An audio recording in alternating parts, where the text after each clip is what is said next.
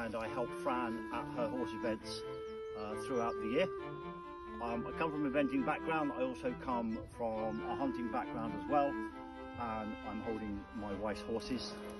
So um, that's a little bit about me. I'm sure I have a list of questions that I'm about to be asked, so I will try and answer them.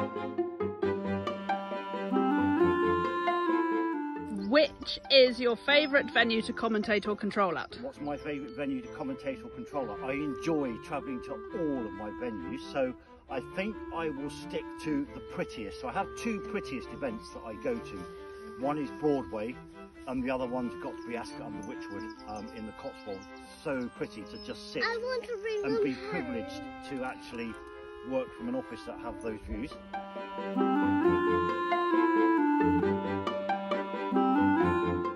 What's your go-to saying when a rider has a mishap?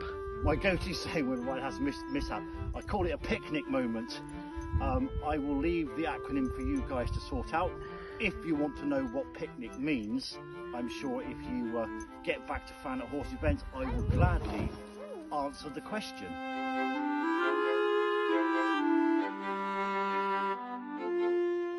What did Bronwyn, your co-controller and really good friend, have for dinner last night?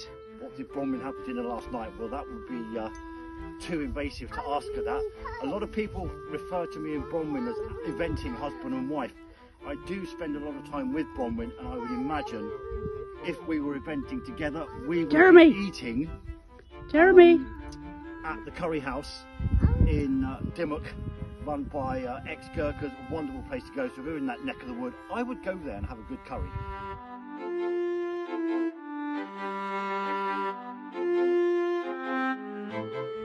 How did you start controlling?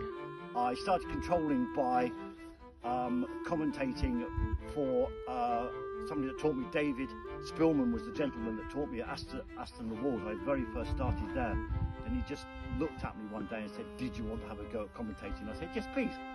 And I did, and under his guidance, commentated, and then took on the controlling uh, a couple of a year or so later. So yes, quite some time.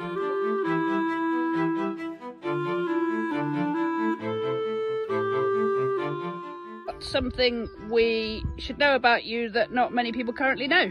Well, I've already mentioned um, that I come from a hunting background. I am uh, an ex-huntsman, have been in hunt service, and also ex-master of hounds as well. And I retired to marry Charlie and have a son. Ah.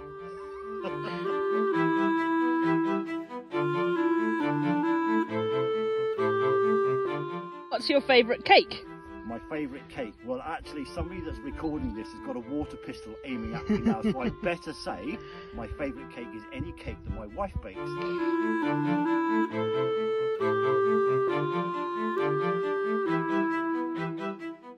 And what's the funniest commentary line you can think of and who was it? I'm not going to drop anybody in the poo. Um, I don't like doing that. But funny commentary line. There's a horse um, that competes.